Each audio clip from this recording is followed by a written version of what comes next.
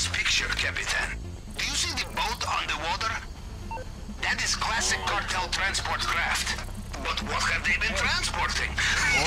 Don't worry. It's a rhetorical question.